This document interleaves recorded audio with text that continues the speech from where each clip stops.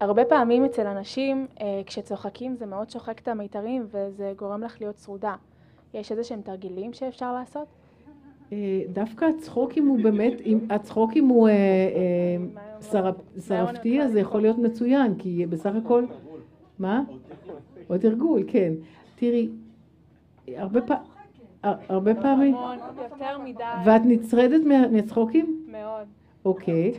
אז אה, צריך לתרגל צחוק, צריך לתרגל צחוק, אני לא, אני לא צוחקת, לתרגל צחוק לא על מצב רגשי, כי מה שקורה, מה שגורם לך לצרידות זה לא הפעולה של הצחוק, זה המצב הרגשי, גם בכי אותו דבר.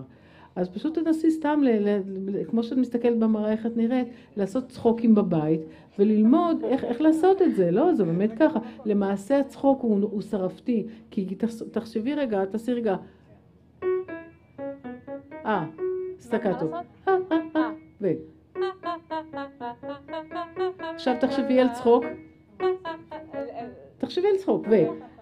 רגשית, תכניסי לצחוק, ו... ו...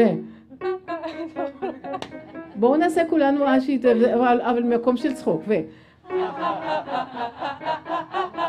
בדרך כלל כשאנחנו זוכרים אנחנו אומרים הא הא הו הו הא הא הא, נכון? יש ו... תחשבו על צחוק. יותר, תצחקו. שלא יהיה מדויק, שיהיה מזויף, תצחקו, תתפוצצו באור, לצחוק. עכשיו סתם לצחוק, וזה שלוש ארבע, ו... את רואה כמה שזה קרוב למקום הזה.